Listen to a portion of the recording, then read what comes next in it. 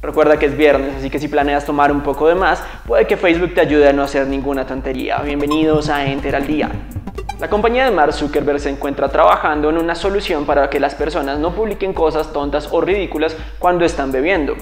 La nueva tecnología de Facebook se basa en tecnología artificial y varias mentes brillantes de Internet están trabajando en ese software para que sea capaz de determinar si sus publicaciones se están haciendo en un estado de embriaguez o no, y le advierte al usuario que está a punto de subir una foto vergonzosa.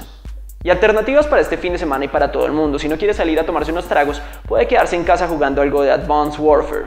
Valve le dará a los fanáticos de los shooters Call of Duty Advanced Warfare de forma gratuita, aunque solamente será el modo multijugador y únicamente estará activo durante el fin de semana. Puede que algunos quieran jugar la campaña, pero realmente todo el mundo quiere conectarse a las batallas multijugador. Y si después de los tragos y los videojuegos no está convencido de qué hacer durante este fin de semana, puede ver la nueva producción de Netflix, Marco Polo. Esta producción original comienza su aventura el día de hoy, viernes. Marco Polo es la nueva serie original de Netflix adaptada del libro Las Maravillas del Mundo que relata las aventuras del comerciante durante la época del Imperio Mongol y la apertura del camino de la seda con Europa. Es una serie que en principio muestra un interesante desarrollo de personaje, un montón de acción y una gran dirección de arte.